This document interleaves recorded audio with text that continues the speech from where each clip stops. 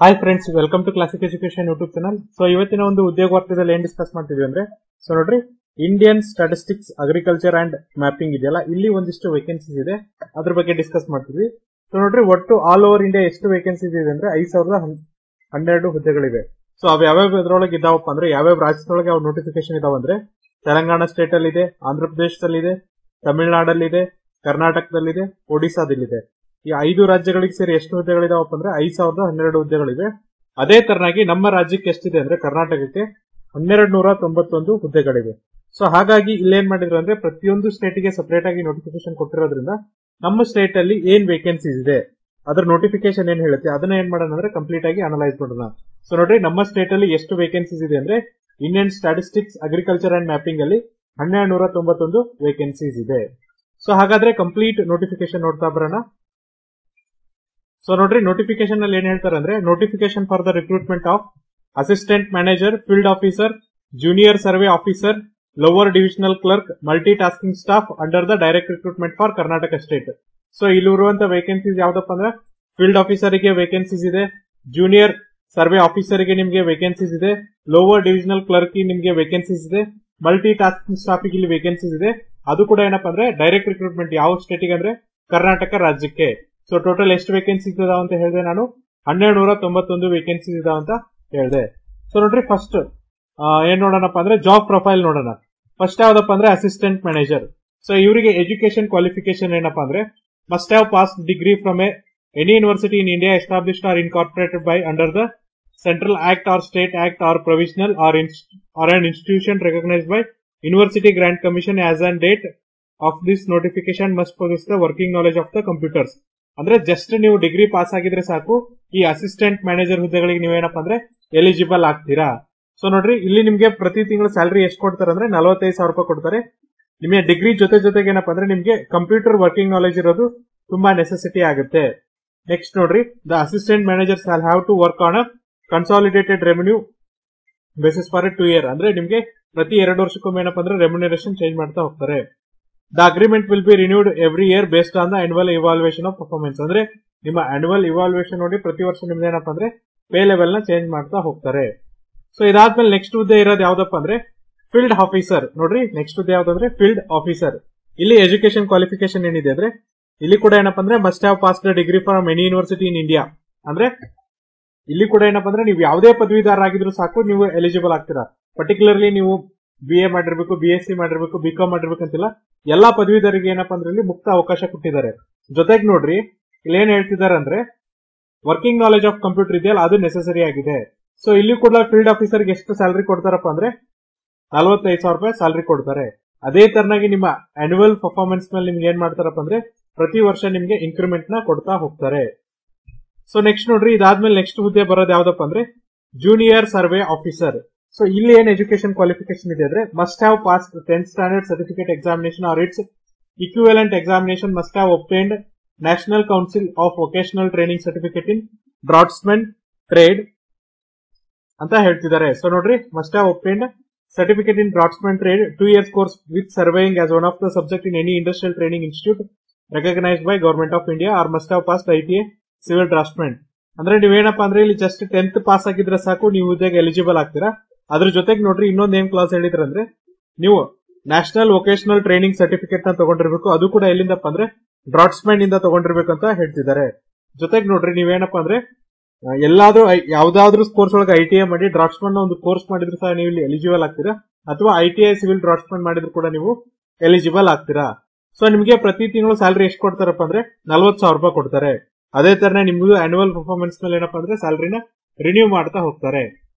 Next ಹುದ್ದೆ ನೋಡ್ರಿ ಯಾವ್ದಿದೆ ಅಂದ್ರೆ ಲೋವರ್ ಡಿವಿಷನಲ್ ಕ್ಲರ್ಕ್ ಅಂತ. ಸೊ ಇಲ್ಲಿ ಏನ್ ಎಜುಕೇಶನ್ ಕ್ವಾಲಿಫಿಕೇಶನ್ ಇದೆಯಪ್ಪ ಅಂದ್ರೆ candidate must have pass twelfth standard or equivalent examination from a recognise board just ನೀವು ಪಿ ಯು ಸಿ ಪಾಸ್ ಆಗಿದ್ರೆ ಸಾಕು, ಈ ಹುದ್ದೆಗೆ ಎಲಿಜಿಬಲ್ ಆಗ್ತೀರಾ. ಸೊ ನೋಡ್ರಿ, ಇಲ್ಲಿ ನಿಮ್ಗೆ ಪ್ರತಿ ತಿಂಗಳು ಸ್ಯಾಲರಿ ಎಷ್ಟು ಕೊಡ್ತಾರಪ್ಪ ಅಂದ್ರೆ, ಮೂವತ್ತೈದು ಸಾವಿರ ರೂಪಾಯಿ ಕೊಡ್ತಾರೆ. ಇಲ್ಲಿ ಕೂಡ ಏನಪ್ಪ ಅಂದ್ರೆ, ನಿಮ್ಮ ಆನ್ಯುವಲ್ ಪರ್ಫಾರ್ಮೆನ್ಸ್ ಮೇಲೆ ನಿಮ್ಮ ಸ್ಯಾಲರಿನ ಇನ್ಕ್ರೀಸ್ ಮಾಡ್ತಾ ಹೋಗ್ತಾರೆ. ಇದಾದ್ಮೇಲೆ ಮುಂತ ಬರುವಂತ ಹುದ್ದೆ ಯಾವ್ದಪ್ಪ ಅಂದ್ರೆ ಮಲ್ಟಿ ಟಾಸ್ಕಿಂಗ್ ಸ್ಟಾಫ್ ಅಂತ ಹೇಳಿ ಸೊ ಇಲ್ಲಿ ನೋಡ್ರಿ ನಿಮ್ಮ ಎಜುಕೇಶನ್ ಕ್ವಾಲಿಫಿಕೇಶನ್ ಏನಿದೆ ಅಂದ್ರೆ candidate must have pass tenth standard or equivalent examination form recognised board ಅಂದ್ರೆ ಜಸ್ಟ್ ನೀವು ಎಸ್ ಎಲ್ ಸಿ ಪಾಸ್ ಆಗಿದ್ರೆ ಸಾಕು, ನೀವೇನಪ್ಪ ಅಂದ್ರೆ ಈ ಹುದ್ದೆಗೆ ಎಲಿಜಿಬಲ್ ಆಗ್ತೀರಾ. ಸೊ ಇಲ್ಲಿ ನೋಡ್ರಿ, ನಿಮ್ಗೆ ಪ್ರತಿ ತಿಂಗಳು ಮಂತ್ಲಿ ಕನ್ಸಾಲಿಡೇಟೆಡ್ ರೆಮ್ಯುನರೇಷನ್ ಎಷ್ಟು ಕೊಡ್ತಾರೆ ಅಂದ್ರೆ ಇಪ್ಪತ್ತೆಂಟು ಸಾವಿರ ರೂಪಾಯಿ ಕೊಡ್ತಾರೆ. ಇದಾದ್ಮೇಲೆ ನೋಡ್ರಿ, ಏನ್ ಹೇಳ್ತಿದ್ರೆ ಅಂದ್ರೆ ಏಜ್ ಹೇಳ್ತಿದ್ದಾರೆ ಸೊ ಏಜ್ ಅಲ್ಲಿ ಏನ್ ಹೇಳ್ತಿದ್ದಾರೆ ಅಂದ್ರೆ the minimum and maximum age for the purpose of recruitment shall be eighteen to thirty five years respectively as on the date of notification of the vacancies, permissible relaxation in upper age limit for different categories is as under ಅಂತ ಹೇಳ್ತಿದ್ದಾರೆ. ಅಂದ್ರೆ ನಿಮ್ಮ minimum ಮತ್ತೆ maximum age limit ಎಷ್ಟಿರುತ್ತಪ್ಪ ಅಂದ್ರೆ ಹದಿನೆಂಟರಿಂದ ಮೂವತ್ತೈದು ವರ್ಷ. Application ಏನ್ ಬರುತ್ತಲ್ಲ ಅಲ್ಲಿಂದ ಏನಪ್ಪಾ ಅಂದ್ರೆ ಹದಿನೆಂಟರಿಂದ ಮೂವತ್ತೈದು ವರ್ಷ. ಅದೇ ತರನಾಗಿ ಕೆಲವೊಂದಿಷ್ಟು ಕ್ಯಾಟಗರೀಸ್ ಏನ್ ಮಾಡಿದಾರೆ ಅಂದ್ರೆ ಏಜ್ ರಿಲ್ಯಾಕ್ಸೇಷನ್ ಕೊಟ್ಟಿದ್ದಾರೆ.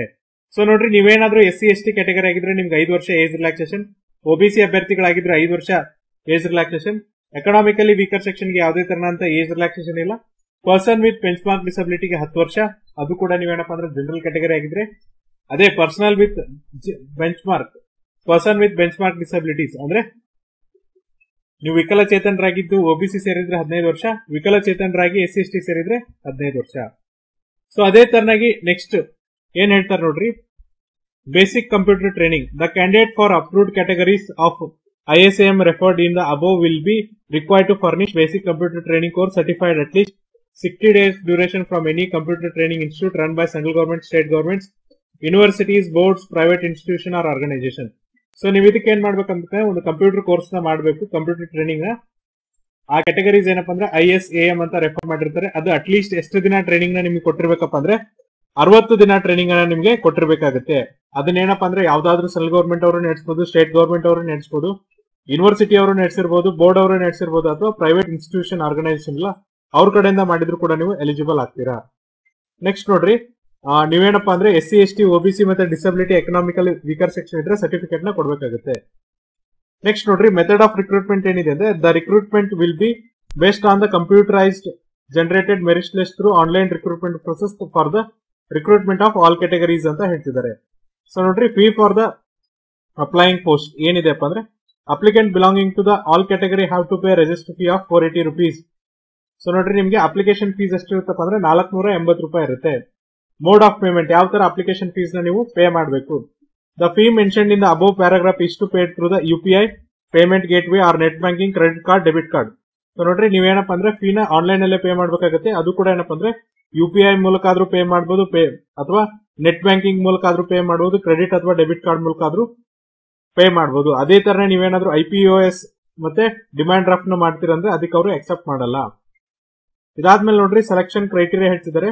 Selection will be made as per the computerise generated merit list as per the rules based on the candidates online submitted application so ನಿಮ್ಗೆ ಏನಪ್ಪಾ ಅಂದ್ರೆ ಆನ್ಲೈನ್ ಸಬ್ಮಿಟ್ ಮಾಡಿದಾಗ ಮೆರಿಟ್ ಲಿಸ್ಟ್ ಅನ್ನು ತಯಾರು ಮಾಡಿ ನಿಮ್ಗೆ ಏನ್ ಮಾಡ್ತಾರೆ ಅಂದ್ರೆ ಫೈನಲ್ ಲಿಸ್ಟ್ ಅನ್ನ ತಯಾರು ಮಾಡ್ತಾರೆ. ಇದಾದ್ಮೇಲೆ ನೋಡ್ರಿ how to apply candidate must ensure go to the notification and instruction properly and understood before applying before well before registering himself for applying online ಅಂದ್ರೆ ನೀವೇನ್ ಮಾಡ್ಬೇಕಂದ್ರೆ ನೋಟಿಫಿಕೇಶನ್ ಇನ್ಸ್ಟ್ರಕ್ಷನ್ ಒಂದ್ಸರಿ ಓದ್ಕೊಂಡು ಸರಿಯಾಗಿ ಅರ್ಥ ಮಾಡ್ಕೊಂಡು ನೀವು ಅಪ್ಲೈ ಮಾಡೋದಕ್ಕಿಂತ ಮುಂಚೆ ಏನ್ ಮಾಡ್ಬೇಕಪ್ಪ ಅಂದ್ರೆ ಓದ್ಕೋಬೇಕಾಗತ್ತೆ. ಸೊ ನೋಡ್ರಿ ಅಪ್ಲಿಕೇಶನ್ ಹೆಂಗ್ ಅಪ್ಲೈ ಮಾಡ್ಬೇಕಂದ್ರೆ online only online application will be accepted from the candidate. Candidates who desire to apply online will have to register himself or herself in the portal through https colon slash slash isam dot org dot in with the effect from 22 6 2022 21 7 2022 with required details to obtain registration number. So ನೋಡ್ರಿ, ನೀವು ಹೆಂಗ್ apply ಮಾಡ್ಬೇಕಂದ್ರೆ online application ಹಾಕ್ಬೇಕು.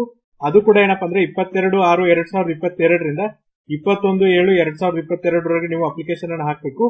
ಅದು ಕೂಡ ಏನಪ್ಪಾ ಅಂದ್ರೆ ಈ ಪೋರ್ಟಲ್ ಮೂಲಕ ಹಾಕ್ಬೇಕಾಗತ್ತೆ. ಯಾವ್ದಂದ್ರೆ S T T P S colon slash slash I S A M dot O R G dot in ಇದ್ರ ಮೂಲಕ ನೀವೇನಪ್ಪ ಅಂದ್ರೆ ಅಪ್ಲಿಕೇಶನ್ ಅನ್ನ ಹಾಕಬೇಕಾಗುತ್ತೆ.